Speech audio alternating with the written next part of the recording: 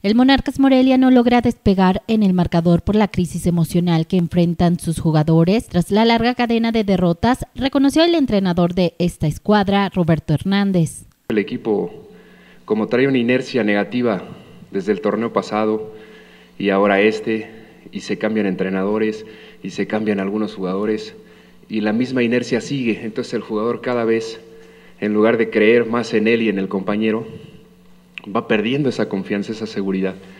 Y yo creo que eso es algo que nos ha impedido realmente ver el potencial del equipo dentro de la cancha.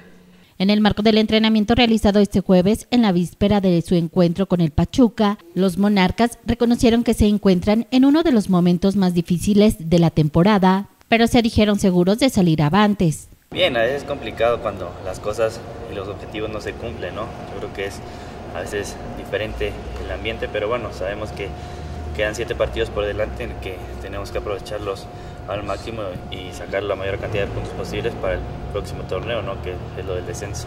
Obviamente el equipo cuando no se te dan los resultados no, no, no, no esperes que, que, estemos bien, ¿no? pero, pero la verdad que, que somos conscientes de que estamos creando situaciones de gol y no estamos convirtiendo, entonces lo único que nos falta es ser un poquito más contundentes y bueno, seguir trabajando de la misma manera. Se espera que el Monarcas pueda repuntar y obtener el triunfo en los siete partidos que restan de la actual temporada para recibir la próxima con un mayor entusiasmo y dejar así el sótano de la tabla.